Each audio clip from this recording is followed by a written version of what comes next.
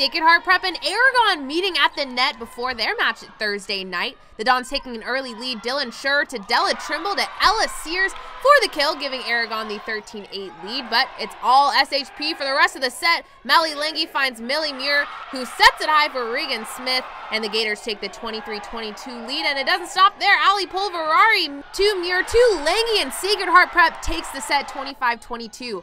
Next set, Dons with a response. Abby Legaspi to Trimble, sending it perfectly for Sears, who drives it into the hardwood. And Aragon would take this set. Gabby Mangano bumps it a back set by Trimble and Sabine Milton for the gnarly kill, 25-10 Dons, and it's tied at a set apiece.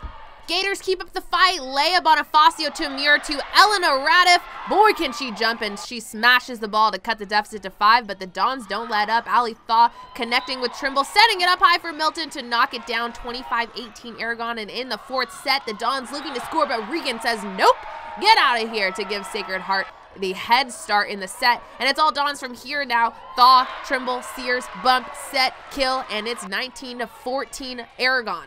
And it all ends here. Amanda Patea to Trimble to Lolo Folau. She kills it. And the Dons take the last set 25-18 to improve to 2 and 1 on the season. Hi, I'm Kathleen Pazine in Palo Alto, and I'm proud to support high school athletes on the 49ers Cal-Hi Sports Report.